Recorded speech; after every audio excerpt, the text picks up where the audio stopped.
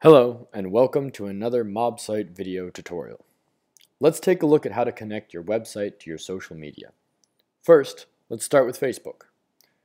To connect your website to Facebook, scroll down to the bottom of the editor and select the Facebook icon.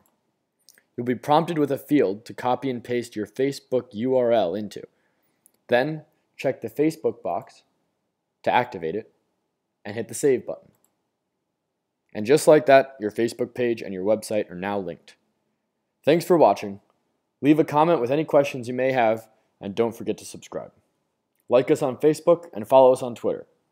Visit us at mobsyte.com to build your own website today.